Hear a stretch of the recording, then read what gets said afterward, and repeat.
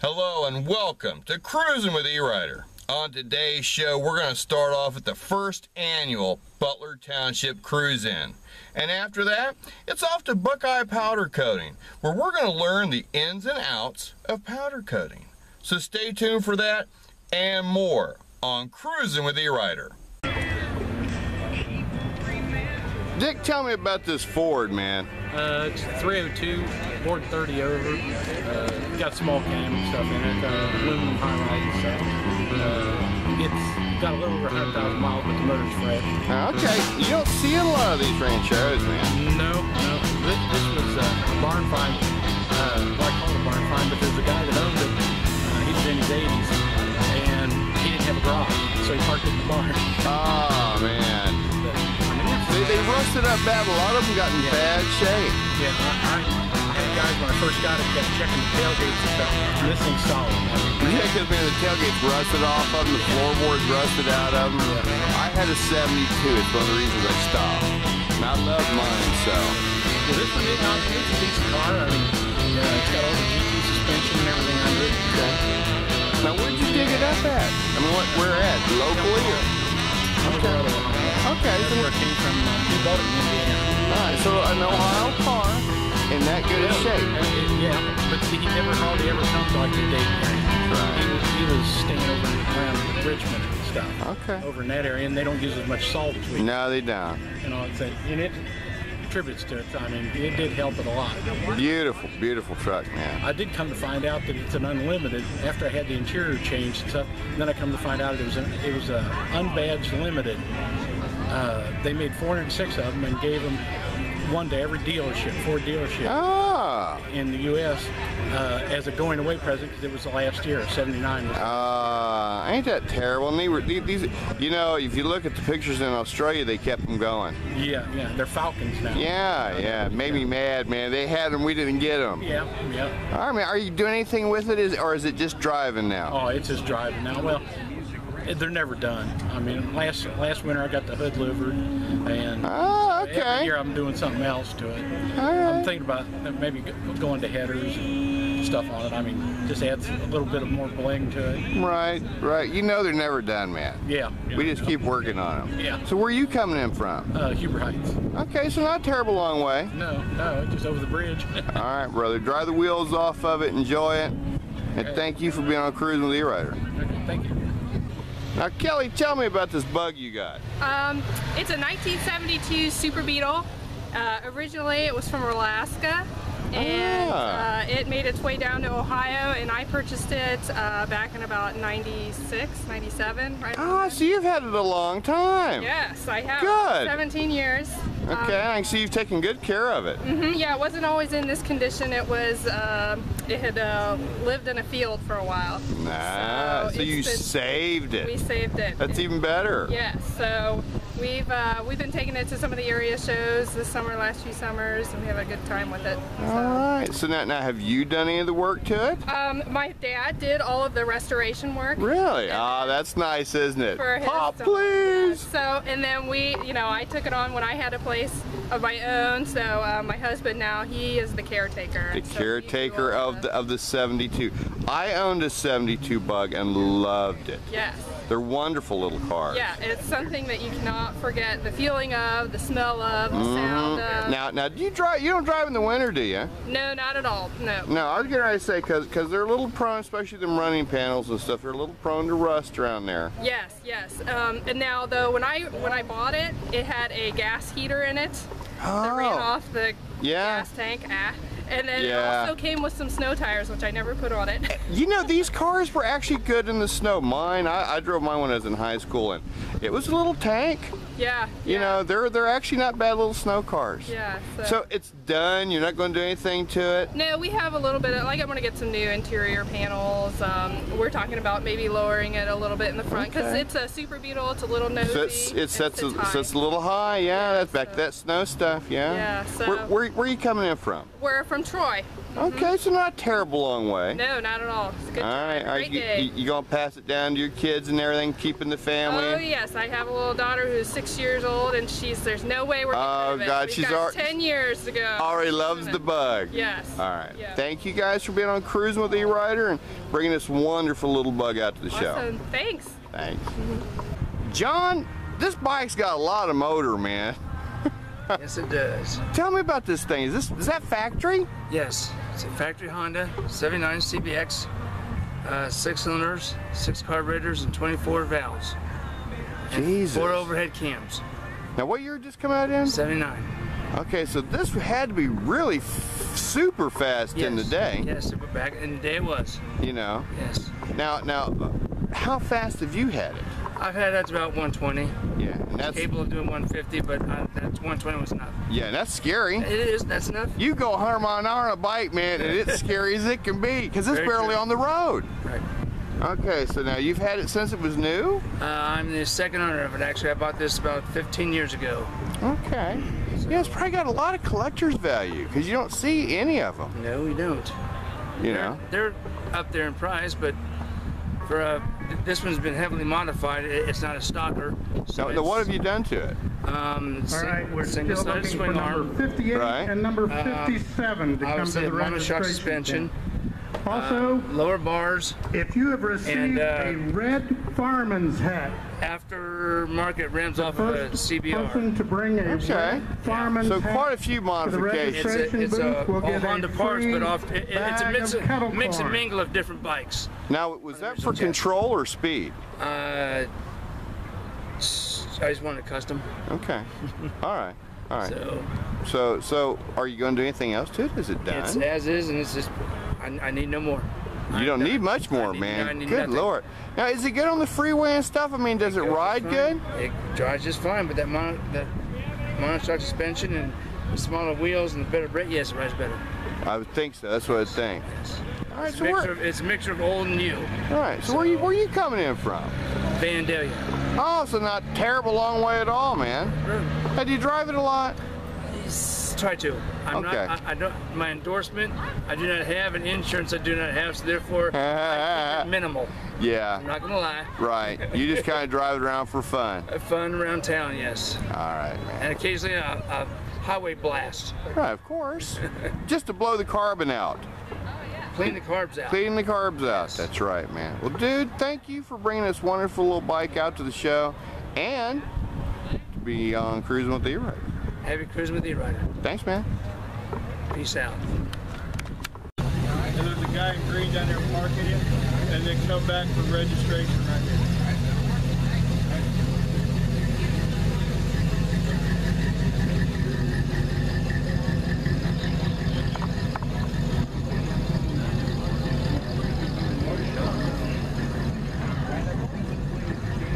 Yeah. All right, we're down here at Buckeye Powder Coating with Scott. Scott, man, tell me about the business and what you guys do. Well, we're a powder coating shop. We do uh, just about anything. Try to make from anything from nuts and bolts down to large frames. So now what got you started powder coating, man? Well, I've always been a painter. I started out in auto collision and then I worked at a few different powder coating companies and I've always wanted to own my own business. Ah. So, and here I am. So is it hard? I mean, is is uh, you know you, you see these guys who who get these like whole frames powder coated and stuff, and you wonder uh, how do you do it? Well, first you have to strip it all down to bare metal. That's the best way to do it. Strip it all down, and then from there you can wash it, powder coat it, and then you can put it in the oven. Okay, so you got to bake that stuff. Yes. So if I was going to powder coat a whole car, I'd have to bake the whole car. Well, you could do the whole car. Anything that melt has to come off. Okay. You're in about 400 degrees at the in the oven. So like the shell. You, yeah, you, you, do the shell. wouldn't that be interesting? Now you ever done anything that big? Oh yeah. I've, Have you? I've done quite a bit of stuff. I've done cranes, Oh wow. big frames, Okay. motorcycle frames, just about anything really. Okay, so now, now where I met you at was uh, over at uh, Sporty's Trikes and Bikes, one of our sponsors. Now, now, do you do a lot of their frames and stuff for them? Actually, I do. I did their custom frame that's sitting out on the shelf. Mm-hmm. It's uh, a root beer color, and then I also did a lot of their motor parts for it. and then just their basic customer parts. Now, is it is it easy to tint this stuff? I mean, I- I've heard people say that you can basically get it about the same color as everything else. Well, I have a company that I can choose from 6,500 different colors. Really? So uh, there's not just black when it comes to powder coat. Okay, so there's not just black, blue, red, orange. Nope. You can get it just about Wow. any shade you're looking for. Okay, all right. So, so how much time are we looking at? I mean, is this going to take six months to get my bike done, or? No, no.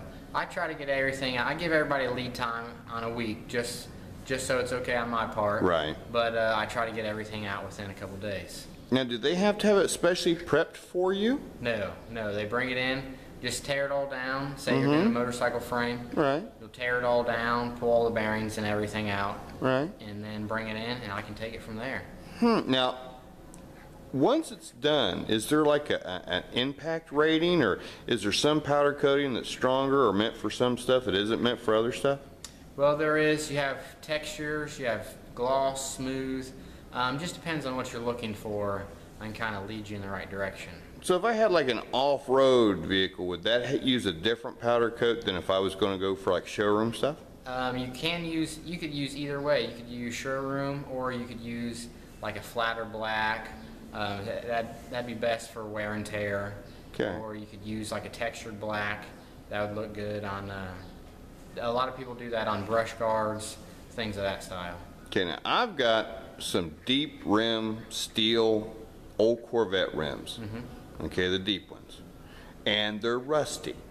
So if I was to bring it to you, I wouldn't have to sandblast them myself or anything? No, nope, we could do that all here. Yeah, because most time I've heard you gotta, you know, gotta get all the sandblasting done. You gotta bring it to, you guys already prepped. Nope, nope, not here. Oh, Try to do all nice. that in-house. Okay. Make it easy on everybody. I like easy. So if I brought the four rims and I just dropped them off, I could have them like in a week or so later. Yep, Oh, that's cool, dude. that's right. All right, and you got a website? I'm working on a website. You I- better get you a website. You're gonna be know. busy. I know. You got a Facebook page? I do, I do. Oh, hit me with the Facebook page. It's Facebook uh, backslash Buckeye Powder Coating. Okay. All right. You got any of that other social media stuff, LinkedIn or Twitter or any of that stuff? Just Facebook for now. All right. Just All Facebook. right. So you gotta get that website going. Yep. What's your What's your location? Your phone number, man? My location is Troy, Ohio at 614 South Crawford Street. And my phone number is 937-524-6797. So not hard to get to. Nope, nope. All right. Now, man, when you get that website, remember you you got to have a bunch of pictures and stuff. We we got to get that out. Oh yeah, I, I have a lot on my, on the Facebook page. Try to post at least once a week, Do you? just to show the different variations of colors and wheels and. Man, you should be posting every day. That Facebook stuff, they want you out there every day. I know it, I know. I've done uh, little videos you can watch on there. Oh, good. So just right, to see man. how it's applied and Well, dude, thanks for having us down here. Uh, we problem. always support local businesses and young guys trying to get a start. So uh, we're going to show a little bit of what you do, and uh, and that right there is uh, ro- the root beer color that I put on Sporty's oh, motorcycle frame. man, you know that does not look like powder coating. That is all powder coat right there. That looks that looks like a, a nice paint job. That's how we try to make it look. And this is one of your smaller ovens. Yeah, this Feel shut. Okay, so now we're back. Explain to me exactly what powder, because I thought powder coat was glass. no, it is not glass. It is uh, chopped up fine plastic. All right, And how you apply it is you have to have a special gun. right. And here we have uh, a box feeding style gun. So what you'll do is open up the box and you'll stick this siphon tube down into the box powder. Okay. And then it'll run through, come through the hose, and it this will charge the powder as it comes out of the gun. And it'll charge it so it sticks to the part. See, that's why I thought it was like metal powder or some kind of glass powder or something. Because, huh? See, you learn. That's why I love this show. We always learn something every day. something new every day. So, so you're going to spray some of this stuff for us? Yes, we can. All right, man. I'll set it up for you. So then that's probably not as toxic as I would have thought it would have been. No, not at all. Not at all. you know, when we're when we're at car shows talking and stuff, we don't really know about this stuff, but Right. you know. Right. It's actually a pretty common misconception on a lot about powder coat. Everybody thinks it's really thick, mm-hmm. and it's really not. If you look at the specs, it all calls for Anywhere from two to five mils. So that's hardly anything. Yeah, I mean that's about what you have on your car right now. Right, So it's yeah. not it's not really thick, but it is more durable. It is the most durable color finish out there. Oh, it's a it's crazy durable. Yeah, it's it's more durable than uh, say an industrial finish or just uh, We were your car. we were at Sporty's and he had an old frame around back that had been powder coated. I guess several years ago that you had done for him, right? Mm-hmm. And it was sitting around back. He took a hammer and beat on the frame. I wouldn't recommend that for everybody. Well, this was just you know he was just trying to Yeah. show me. This is before when we was talking about you, and he beat on it with the hammer. Yep. And it didn't come off. I was like, well, damn. as long as it's applied right, then Right. It'll It'll, it'll it, be. it was tougher than I thought it would be. Right, right. It is. All right. It is pretty durable. Well, that's what we want, man. Okay, we get out and we get this stuff. Oh, uh-oh, he's got him a James Bond gun. Yep, yep. Here's my James Bond gun. I'll actually go up and turn the booth on. Okay. I've got the fan. So that this metal's just standard, just sanded down, ain't nothing special been done to it. Yeah. No weird primers. No primer. Not unless the powder calls for it. Really? Do some of them call for a for like a base coat or something? Do some of them call for like a base coat or something? This one does not call for a base coat. This is just uh, basically like a single stage paint. Right. You apply the paint and then you bake it and that is it. Man, that is so nice. Yep. I can't wait to see this. So it comes out of, out of the gun as a powder. Let's look up my hair. That always helps, yeah.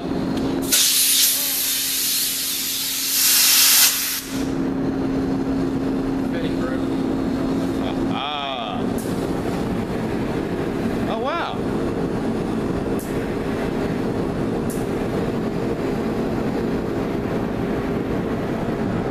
Go about, about like that. Right? You apply it.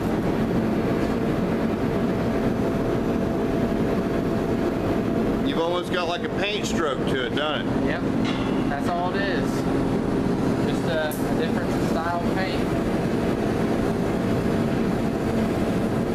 And that's it. That's it? That's it. That's the whole process? That is the well. And then what you do, you take this whole cart, Right? and in this case, I'd put it in the small oven. Right. But if I had a bigger piece on here, I'd roll the whole cart into the oven. And this here is the large oven. So if we can get it onto this thing, then we can do it here. Oh, man. Lord have mercy. As long as we can get it in here. So you're talking frames, fenders, hoods, deck lids. Got anything you want? Oh my god, dude. Huh. So I can turn my car on its side and roll him right in there. Just about. Then that piece over there is going to look like the stuff you showed us over here in the other cabinet. That's right. That's crazy. That's just a different color right there. Now, how long does it bake?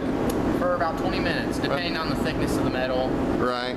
and uh, all that. And you don't got to polish, you don't got to wet sand, you don't got to do any weird stuff afterwards. That's it. As soon as it comes out of the oven, as long as it comes out of the oven nice, then that's, Right. that's your finish right there. Oh, that is so sweet. That's right. All right, man. Give us give us the phone number and address one more time. It's 937-524-6797, 614 South Crawford Street. All right, over here, Powder Coating, over here in Troy, man. Troy, Ohio. All right, brother. We're gonna make you busy. I hope so. All right, man. Keep cruising with E-Rider and Buckeye Powder Coating. Thank you.